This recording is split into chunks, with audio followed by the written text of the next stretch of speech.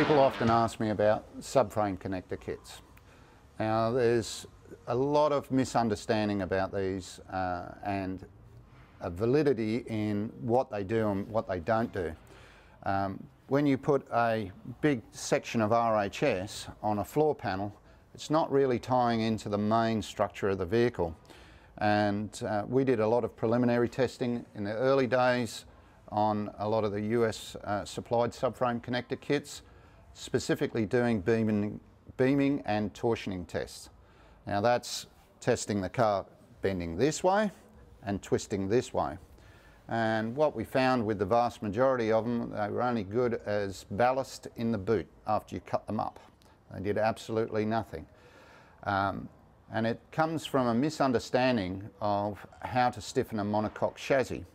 Normally, uh, all of the original drivetrain configuration generates both pushing force and twisting force into this area here. That's your acceleration, trying to wind up like that, and your forward motion, which is pushing this way.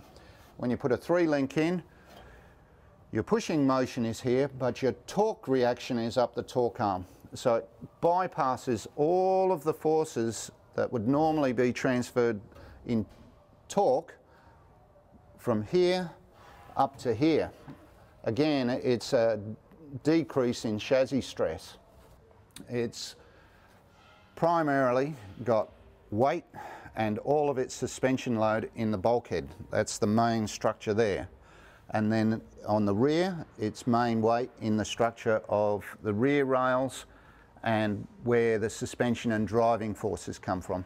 And the bit in between is the main part that you have a series of twisting and beaming aspects.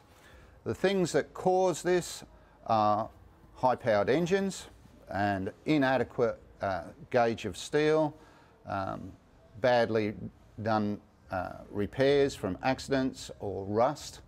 Uh, there's all sorts of reasons why a, a car is a really floppy car. Um, when you tie our RRS components in, you change a whole stack of dynamics of load bearing. For instance, uh, and it's just simple physics, mass times distance equals force, right? So from the spring eye here back to the shackle, is quite a distance. That's where the rear of the weight of the vehicle is carried.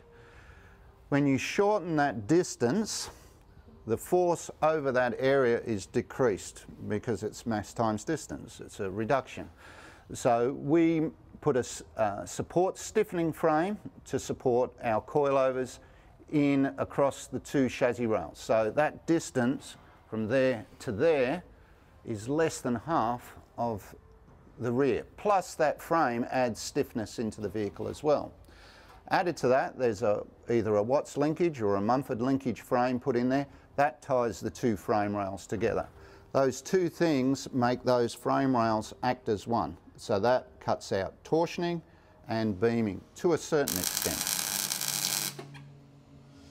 All right, what we're doing here is reinforcing the chassis in the neatest, simplest possible manner when you increase the folds, the gauge of the metal and strategically put in uh, body stiffening, you've got to think very carefully about how it affects a monocoque chassis. There's a lot of gimmicks out there.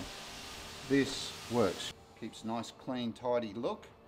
Adds a huge amount of stiffness because it ties the rear bulkhead to the front bulkhead and across the middle sections where the three-link cross member goes. So let's finish it off.